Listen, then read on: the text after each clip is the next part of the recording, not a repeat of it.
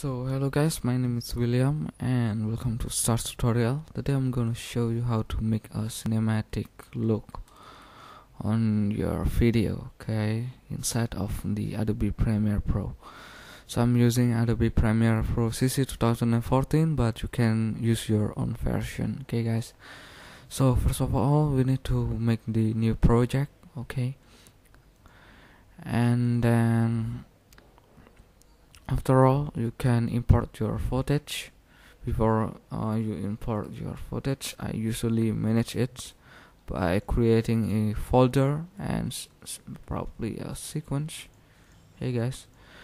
And then I make a sequence HDV 720p it's great for me.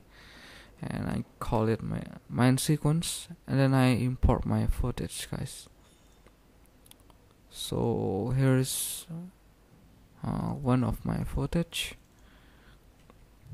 Try to import it.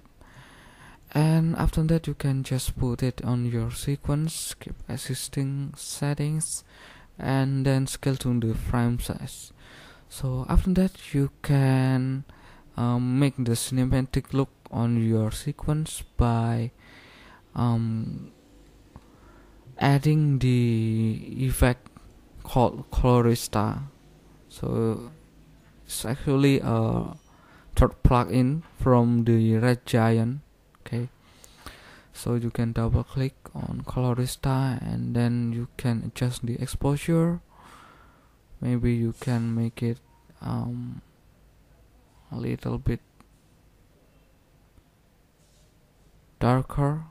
Okay, guys, and then you can warm it you can adjust the shadow the midtones and the highlight. And after that you can adjust the saturation too. Okay as you can see here. So you can adjust the saturation. Okay guys. And then the hue. Not much. And then the highlight too. Okay. And after that you can also adjust the shadow on your um, footage. And then you can adjust this vignette too. Okay. And after that you can add the color grading. I usually use the Mojo. Okay guys. Just double click it so it will look more cinematic on your footage and after that you can adjust your mojo maybe you can um, make it look warmer by adjust it the warm it okay guys? And then I usually just adjust uh, a few of them such as mojo and warm it. And you can blend it to the original to make the result okay guys. So it will looks more cinematic.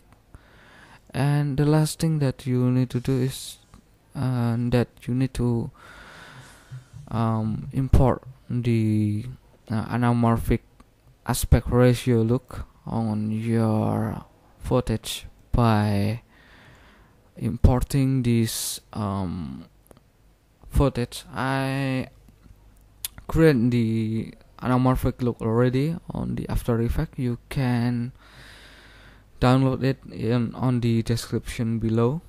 And then you can import and just take the image sequence before your you import on your Premiere Pro guys. And then just click open it. And after that you just need to put it above your footage guys. So it will look like this and then after that um, you can adjust the speed to make it longer just uh, guys sorry. Um, I adjust it with 1% I think that's long enough. And after that we can cut it guys by pressing C on the keyboard and just click it. Okay guys. So your footage will look more cinematic. And if your footage is too high you can adjust the uh, position of your footage by click clicking on your footage right here. And then you can make it lower guys. So something like this. Okay guys. So it will look more cinematic. So that's the way you make your uh, footage cinematic thank you for watching guys. Don't forget to thumbs up and subscribe on my channel. And see ya